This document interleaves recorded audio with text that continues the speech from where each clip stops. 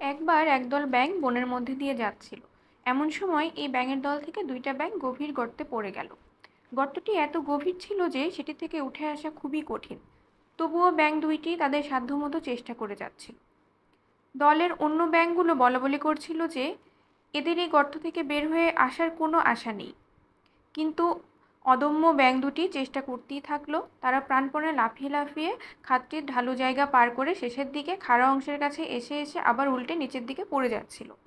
তখন উপরে থাকা বাকি ব্যাঙগুলো চিৎকার করে তাদের বলছিল যে, তোমরা কিছুতেই উঠতে পারবে না। এটি খুব বড় গর্ত। এখান থেকে উঠে আসা কোনোভাবেই সম্ভব না। তাদের কথাগুলো এমন ছিল যেন তারা বলতে চাইছে, শুধু কষ্ট করে লাভ নেই। আশা ছেড়ে দিয়ে মৃত্যুকে স্বীকার করে নাও, কষ্ট থেকে মুক্তি পাও।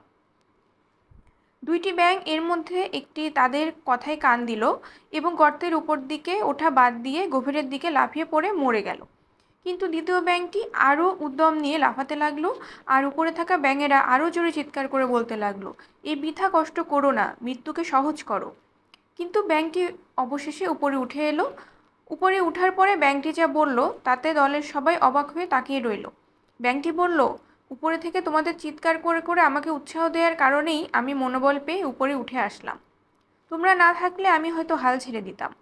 আমি কানে শুনতে পাই না, শুধু চোখে দেখেছি তোমরা গলা ফাটিয়ে আমাকে উপরে উঠে আসতে বলছো। এই গল্প থেকে আমরা কি শিখলাম? আশেপাশে মানুষের একটু উৎসাহ মানুষকে কঠিন বিপদেও সামনে এগিয়ে নিয়ে যেতে সাহায্য করে। এবং নেতিবাচক কথায় কান্না দিয়ে নিজ লক্ষ্যে অবিচল থাকলে সফলতা আসে।